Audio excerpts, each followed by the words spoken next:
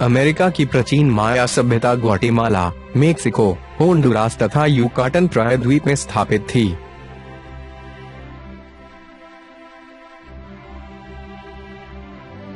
माया सभ्यता मेक्सिको की एक महत्वपूर्ण सभ्यता थी।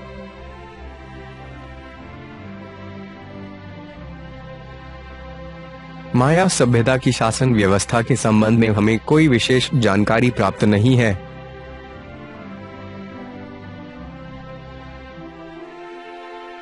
माया शासक सामान्यतः पुरुष हुआ करते थे।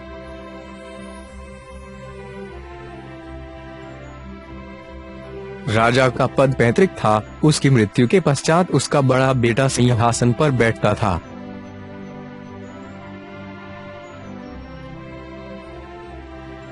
राजा के सिंहासन पर बैठते समय देवताओं को प्रसन्न करने के उद्देश्य से मानव बलि दी जाती थी।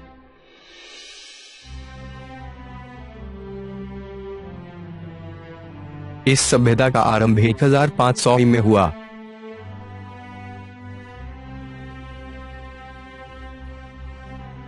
यह सभ्यता तीन सौ से नौ सौ के दौरान अपनी उन्नति के शिखर पर पहुँची।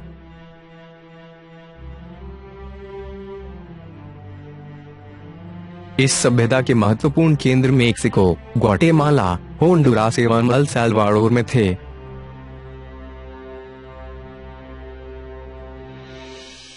माया सभ्यता का अंत 16वीं शताब्दी में हुआ, किंतु इसका पतन 11वीं शताब्दी से आरंभ हो गया था।